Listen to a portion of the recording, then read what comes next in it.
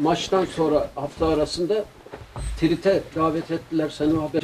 Ayıp olmasın. Çarşambaya gidemeyiz herhalde. Çarşambaya evet. Dur. Bu, Yoğun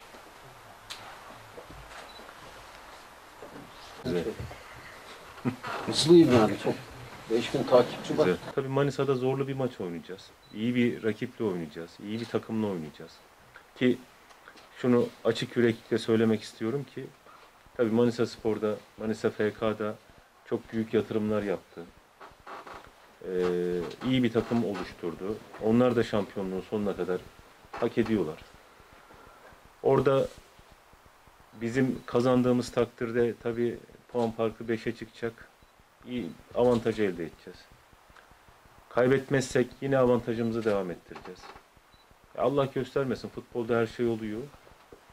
Kaybedersek de bir puan geriye düşeceğiz.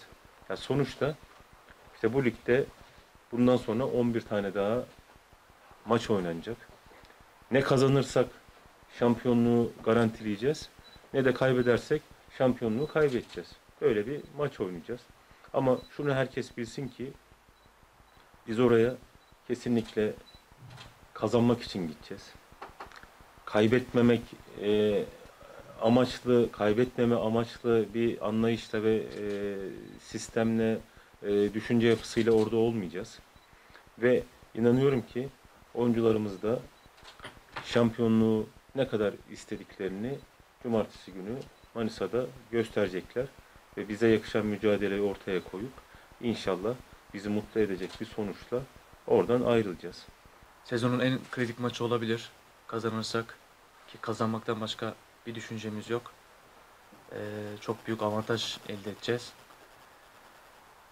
Ee, rakibimiz güçlü bir takım. iyi futbol oynuyor. Ama biz ee, daha iyi oynayıp o gün daha çok savaşıp mücadele edip sahada ne yapmamız gerekiyorsa onu yapıp buraya ee, mutlu dönmek istiyoruz.